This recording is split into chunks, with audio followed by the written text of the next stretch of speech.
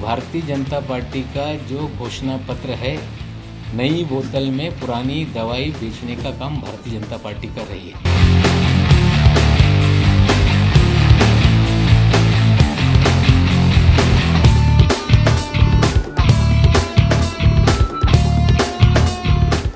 भाजपाने आपल्या जाहीरनाम्यात समान नागरिक संहिता, कलम तीनशे सत्तरचे निराकरण, अयोध्येमधील राम मंदिराचे निर्माण, भ्रष्टाचार या गोष्टींना प्राधान्य दिलंय.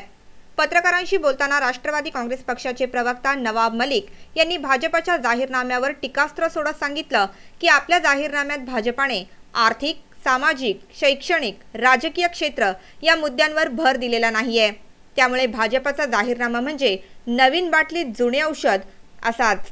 कि भारतीय जनता पार्टी का जो घोषणा पत्र है नई बोतल में पुरानी दवाई बेचने का काम भारतीय जनता पार्टी कर रही है.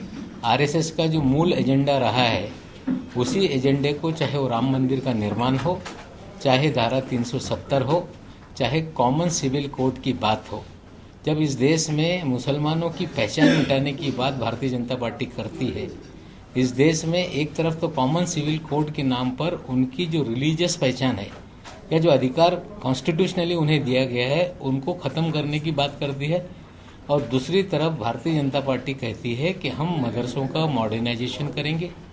दूसरी तरफ़ उर्दू के विकास की बात करती है, मुसलमानों को अवसर प्रदान करने की बात करती है। हम सवाल पूछना चाहते हैं कि नरेंद्र मोदी जी, जो आने वाले पाँच साल का कार्यक्रम ज़ाहिर करते हैं, वो सभी कार्यक्रम पिछले दस सालों में जो दिए गए, वो गुजरात की धरती पे जब उसे क्यों नहीं अमल करते सवाल किया गया तो उन्होंने कहा opportunity to all appeasement for none इस तरह बोलकर दस सालों तक सारे मुसलमानों के और माइनॉरिटीज़ की जो भी स्कीमें थी, वो गुजरात में उन्होंने रोकने का काम किया है।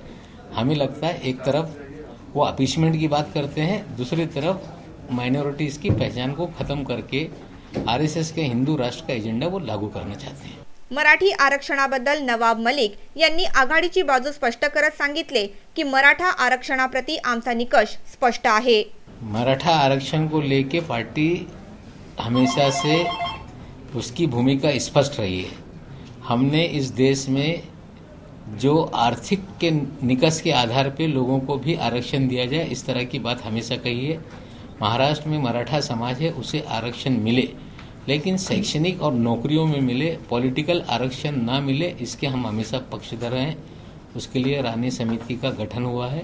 और चुनाव के बाद हमें अपेक्षा है कि मुसलमान और मराठा दोनों समाज के आरक्षण के लिए महाराष्ट्र सरकार विशेषकर निर्णय लेगी।